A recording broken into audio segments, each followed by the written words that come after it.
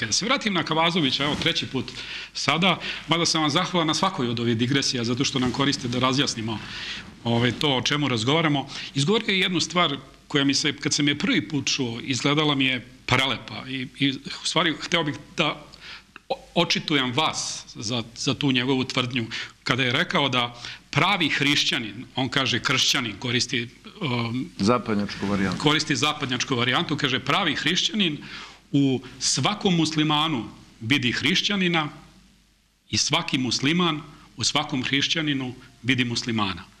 Ta, ta prelepa rečenica, on je istina u nastavku rekao da je svaka crkvu, svaku crkvu treba poštovati kao da je džamija, kao što svaku džamiju treba poštovati kao da je crkva, jer je jedan Bog. Jel tako? Ali ta prelepa rečenica koja je iznad konfesija, koja traži ljude u nama ili međusobno poštovanje. Ja znam da postoji ona doktrinarna rečenica koja kaže da su i, i hrišćani i jevreji i, i muslimani su narodi knjige. Da mi zapravo vodimo, jel tako, iz iste knjige izvodimo svoje učenje. Jel vi osjećate tu rečenicu kao sobstvenu?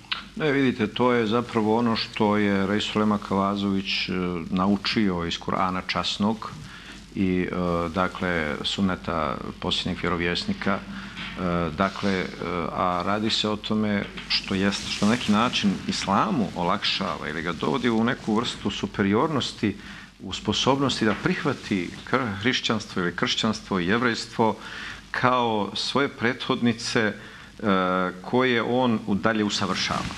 I tu, tu naravno, tu, tu je nažalost kršćanima i jevrejima teže da se tako vode prema islamu. I to je dakle islamsko učenje.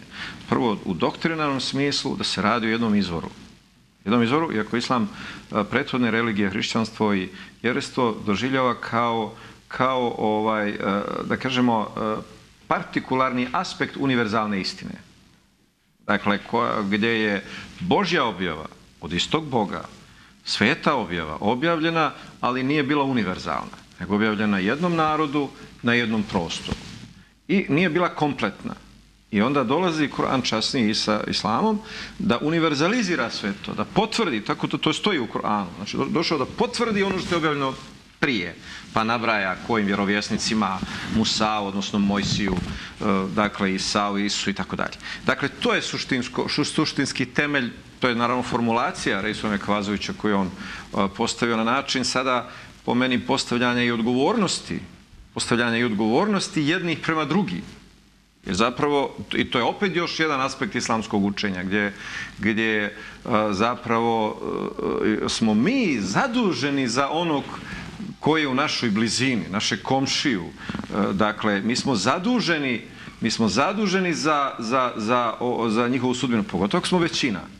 I to je ono, čak sam ja to nudio 2003. To je u razgovorima sa starješinom manastira Sopoćani, jer je on tada izrazio neka negodovanja za neka dešavanja u Novom pazaru e, prema, dakle, pravoslavcima.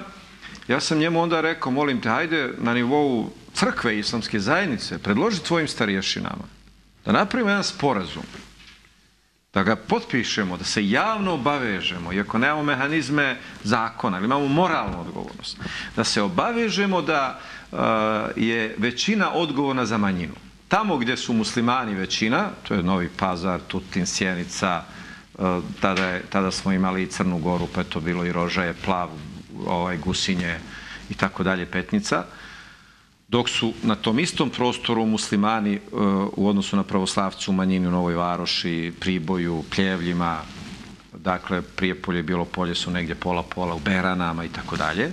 Znači, hajmo da potpišemo jedan javni sporazum koji će imati veliku civilizacijsku i duhovnu refleksiju da e, u smislu crkve islamske zajednice odgovaramo, snosimo odgovornost ako se tamo gdje su, gdje su e, ovaj, e, većina pripadnici naše zajednice desi neka nepravda toj manjini. Znači, ja sam spreman za ova mjesta gdje, gdje je islamska zajednica u većini da preuzmem odgovornost moralnu i da kad se god nešto desi, izađem i kažem ja sam kriv, izvinite, žao mi je, sve ću poduzeti da se ne ponovi. Naravno, on, to, on se više nikad nije vratio s time.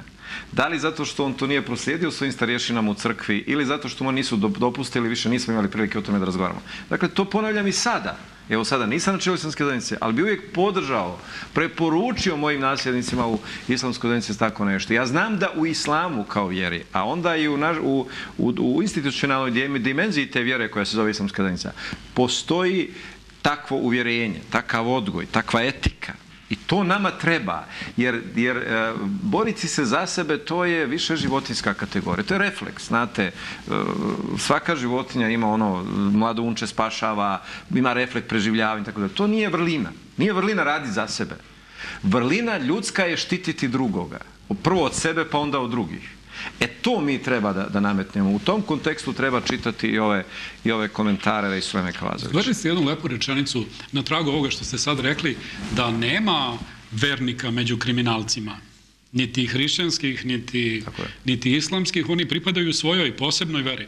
Tako je. I to je kriminalna vera. Tako je, jeste. I zato, zato su kriminalne organizacije uvijek transnacionalne i transkonfesionalne. Dakle, vi ste imali e, žestoki rat sa zločinima, sa, sa, sa, sa genocidom u Bosni i Hercegovini, a tokom svega, svih tih dešavanja, najtežih, vi ste imali kriminalce i među Srbima, i među Bošnjacima, među pravoslavcima, muslimanima, albancima, jednih i drugih konfesija, koji su funkcionisali besprekorno. E, dakle, po svim njihovim idejno i praktičnim kriminalnim principima. Dakle, kriminal nema ni vjeru ni naciju. On je transkonfesionalan, transnacionalan, to je zlo. I zlo je, zlo je satanska religija. Nema veze pod kojim bajrakom je ona. Ona je satanina religija. Bilo da je u formi kriminala, bilo u formi korupcije, bilo u formi politike koja radi, koja podržava kriminal politiku i korupciju, bilo, bilo u formi neke crkve, vjerske zajednice, etničke organizacije, nije bitno. Znači, zlo bilo koje vrste je satanska vjera i ostalo su samo e, pakovanja ako se radi u ime muslimana ili, ili pravoslavaca, svejedno, ali suštinski zlo je satanska vjera.